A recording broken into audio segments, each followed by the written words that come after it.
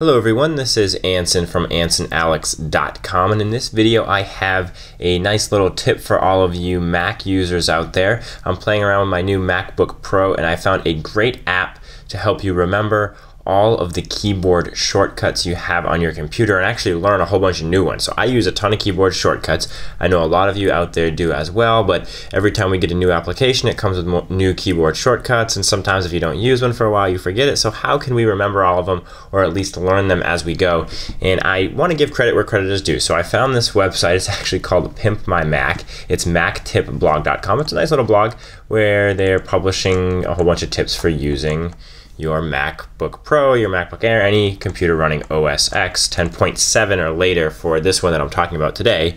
But um, some of the other stuff on here could be for earlier editions of Mac as well. So you can see this is the website.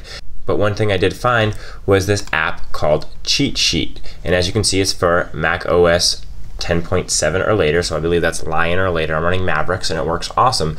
Um, you just download it, install it. When you install it, it does need access to some of your accessibility features. So if we go in here, the app needs access to your accessibility features on your computer, but the setting isn't in accessibility, it's actually in security and privacy. So if you go into security and privacy, and you go to the privacy section, you can click on accessibility and grant cheat sheet access. And what it does is it makes it so that in any application you are then in, you can press and hold the command key, the Apple key.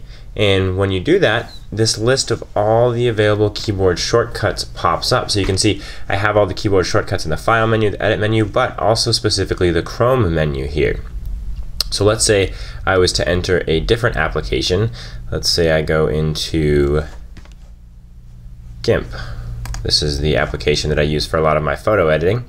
So I go into GIMP, and it's a free application by the way. It's rivals Photoshop and it's free, so it's definitely worth checking out. And I hold that button here in GIMP, you'll notice that it pops up with all the shortcuts for GIMP. I can see all of the shortcuts in the tools menu. I can scroll down here if I need to. So whatever app I'm using, I can see every single shortcut. This app, it just blows my mind. To me, this is awesome. This is going to make my usage of a Mac computer even faster than it already is. I didn't even know it could get faster. So definitely worth checking this app out and trying it.